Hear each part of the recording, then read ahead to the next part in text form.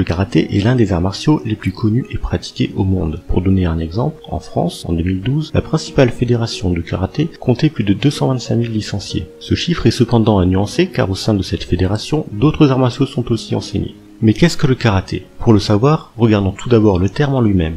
Le mot karaté est composé de deux termes. Kara, qui signifie vide, et te, qui renvoie à la notion de main. Le karaté est donc l'art de la main vide. Autrement dit, un art martial se pratiquant à main nue et donc sans armes. Bien que cette définition ne soit pas fausse, elle est incomplète. En effet, il est possible d'appréhender le karaté sous différentes manières. Ceci peut se traduire par l'utilisation des suffixes do et jutsu accolés au terme karaté. Le terme do renvoie à la notion de voie dans le sens voie spirituelle. Le karaté do est donc la voie de la main vide. Dans ce cadre, la pratique du karaté est un outil permettant de construire l'individu, de lui apporter certaines valeurs et peut-être de lui permettre d'atteindre un éveil spirituel. Le terme jutsu, lui, renvoie à la notion de technique. Dans la pratique du karaté jutsu, le pratiquant cherche avant tout l'efficacité au combat. En plus de ces deux grandes orientations du karaté, il en existe une troisième qui est la voie sportive. Dans cette troisième voie, le karaté n'est plus pratiqué comme un art martial, mais comme un sport de combat. La finalité est ici la compétition, où le vainqueur est déterminé en fonction d'un certain nombre de points. Cette troisième voie est source de nombreuses pertes techniques, mais elle reste la plus encouragée par les instances fédérales. Il est à noter que bien que ces trois voies soient différentes, un pratiquant de karaté puisse passer de l'une à l'autre au fil de sa pratique. Intéressons-nous maintenant à l'histoire du karaté. Contrairement à ce que l'on pourrait penser, le karaté n'est pas originaire du Japon. En effet, cet art martial est originaire de l'île d'Okinawa, située dans l'archipel des Ryukyu, au carrefour du Japon, de la Chine et des Philippines. Avant d'aller plus loin,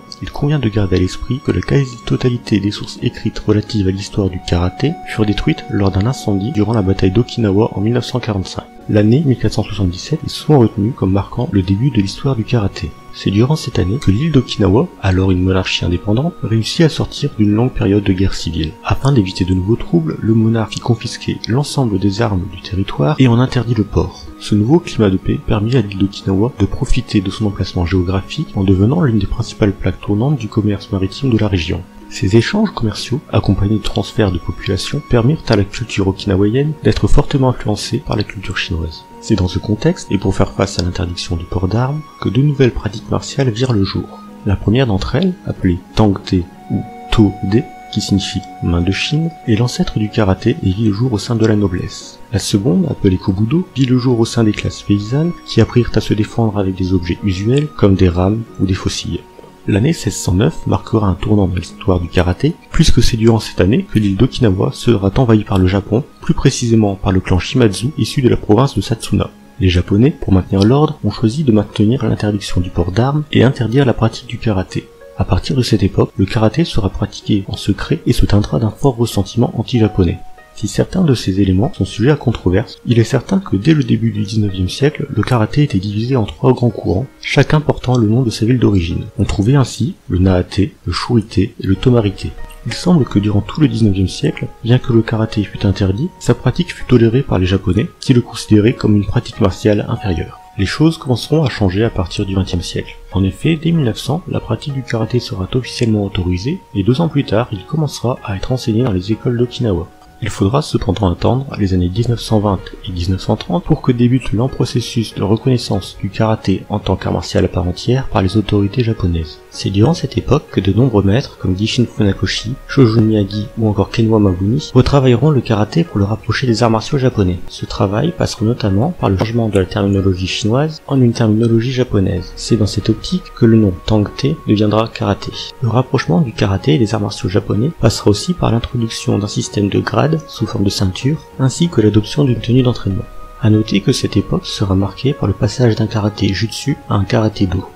C'est grâce à l'effort combiné de nombreux maîtres qu'en 1936, le karaté sera enfin reconnu comme un art martial japonais. Bien que l'Occident ait eu connaissance de l'existence du karaté avant la Seconde Guerre mondiale, il faudra attendre les années 60 pour que l'art de la main vide s'y diffuse massivement. Concernant maintenant sa pratique, le karaté est un art martial très riche. En effet, si la compétition a tendance à réduire le karaté à de simples techniques de frappe avec les pieds, des poings et à des blocages, la réalité est tout autre. Tout d'abord, si le karaté comprend de nombreuses techniques de frappe avec les pieds et les poings, il comprend aussi de nombreuses techniques de frappe avec les coudes, mais aussi avec les mains ouvertes et avec diverses formes de mains. De plus, si le karaté se concentre essentiellement sur les techniques de frappe nommées atemi, il comprend aussi de nombreuses techniques de projection et d'immobilisation.